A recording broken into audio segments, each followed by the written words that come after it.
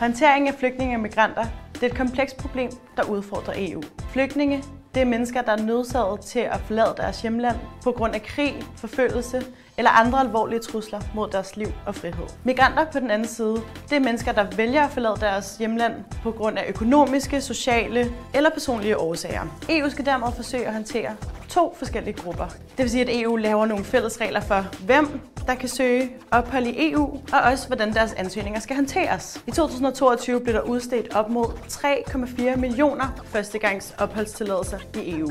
Det skaber stor debat i de europæiske lande. Nogle mener, at EU skal gøre en større indsats for at hjælpe mennesker, der kommer hertil. De mener, at vi skal give dem en færre chance for et nyt liv i Europa. Andre mener, at EU skal gøre mere for at kontrollere de ydre grænser. De frygter, at øgede flygtninge- og migrantstrømme vil føre kriminalitet og terrorisme til EU.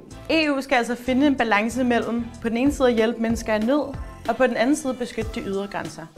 Hvordan synes du, balancen skal være?